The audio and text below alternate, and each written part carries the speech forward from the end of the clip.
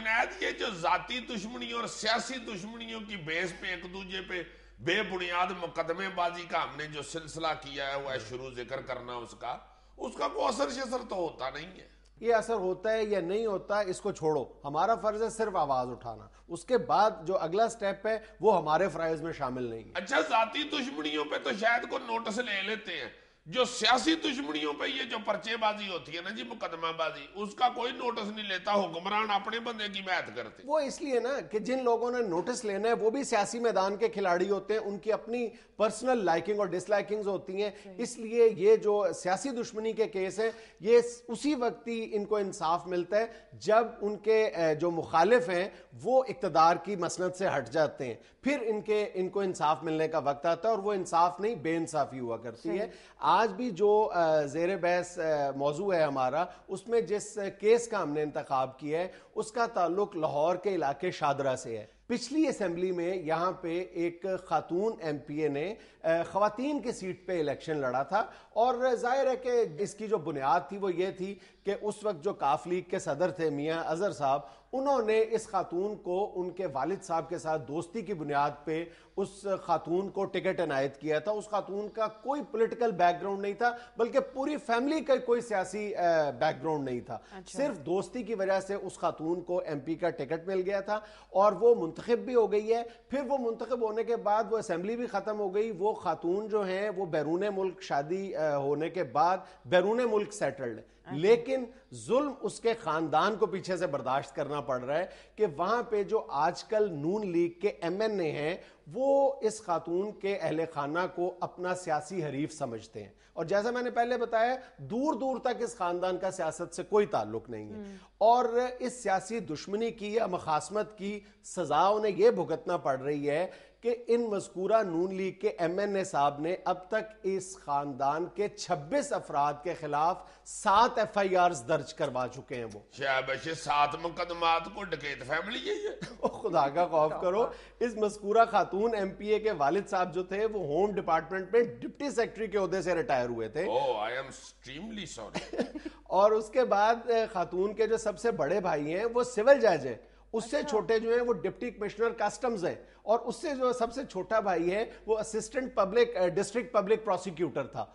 और इस, इनके कज़न जो हैं वो सिविल जज हैं और इनके जो खातून के सगे भाई और उसके जो कज़न दोनों सिविल जज हैं और दोनों सिविल जजेस के खिलाफ मजकूरा एमएनए साहब ने दहशत गर्दी के पर्चे करवाए हैं।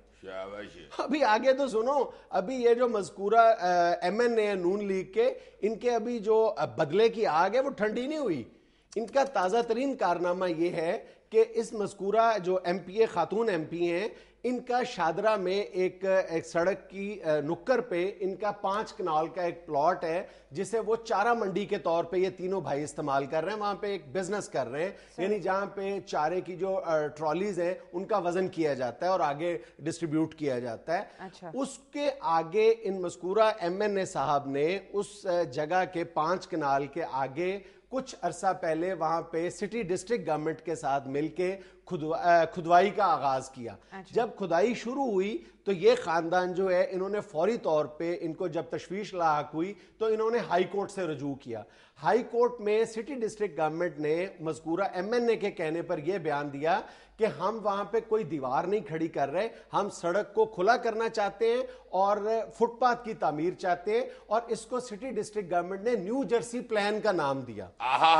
वाजी वाह यानी शदरे को अमेरिका में तब्दील करना चाहते हैं। वो मैं बताता हूँ ना अच्छा जी अमेरिका में खोती रेडियाँ होती हैं शदरे में तो होती है ना यार सुनो तो सही। उसके बाद इन लोगों को हाईकोर्ट ने यह फैसला दिया कि आप कोई दीवार यहाँ पे तामीर नहीं करेंगे और इंसाफ के असूल के लिए आप लोअर कोर्ट से रजू करें। जो मुतासरा पार्टी है ये जब लोअर कोर्ट में जाती है तो लोअर कोर्ट में स्टे ऑर्डर दे दिया जाता है कि आप दीवार की तमीर नहीं कर सकते। लेकिन एमएनए साहब का प्रेशर इतना ज़्यादा है कि उन्होंने स्टे ऑर्डर की परवाह ना करते हुए दिन दिहाड़े वहाँ पर चार दीवारी का आगाज़ कर दिया और इन बेचारों का जो पाँच कनाल पाँच कनाल का जो प्लॉट है वो बिल्कुल मैसूर होके ये रह गए यानी उनके फ्रंट पे दीवार बना दी गई है और उससे आगे एक और दीवार बना के चौकटा बना के उसको एक यानी पार्क का नाम दिया जा रहा है। अब ये बाहर नहीं निकल सकते। Exactly exactly. नहीं ये तो उन्होंने हमदर्दी की है कुछ चोर शोर भी अंदर नहीं जाएगा। बिल्कुल ही बंद हो यार खुदा का नाम लो। तुम्हारे घर के बिल्कुल सामने अगर कोई दीवार खड़ी कर दे या चार दीवारी बना दे तुम घर से बाहर ना निकल सको। ये थोड़ा जुल्म है यार। तो बना ले कोई बात नहीं मैं पिछले दरवाजे से निकल जाया और अगर पीछे भी किसी का मकान हो। हाँ। और भाई इन बेचारों के साथ यही ट्रेजेडी है कि इनके प्लॉट के तीनों तरफ़ पहले से आबादी मौजूद है। यही एक रास्ता था जो बंद कर दिया गया है। यार, मेरी बात सुनो एमएनए के खिलाफ कोई कार्रवाई नहीं हो सकती। इन लोगों को कहो कि अपने प्लाट के अंदर से एक पुल चढ़ाएँ और पार्क के ऊपर से बाहर नीचे आ जाए। यही हाल है उन बेचारों के पास। नहीं सही कह रहे हैं। इसके अलावा उनके पास कोई हल नहीं है। क्यों सर? कोर्ट में जाए ना। तो कोर्ट ने तो अपना फैसला दे दिया स्टे दिया ना उन्होंने स्टे। और स्टे की खिलाफ वर्जी भी कर दी है एमएनए साहब ने। स्टे के ऊपर दीवार और ज़्यादा दिलचस्प बात यह है कि जो इनका सबसे छोटा भाई है जो असिस्टेंट डिस्ट्रिक्ट पब्लिक प्रोसिक्यूटर है उसके खिलाफ एक ये मुकदमा भी दर्ज करवाया गया है सिटी डिस्ट्रिक्ट गवर्नमेंट की तरफ़ से एमएनए साहब के दबाव पर कि इस बच्चे ने वहाँ से 500 ईंटें भी चुराई हैं सरकारी दीवार से और कार्य सरकार में मुदाखलत का मुकदमा भी दर्ज कर दिया गया। किन्नू हाल सुनावा दिल दा कोई महरम राज न मिलदा।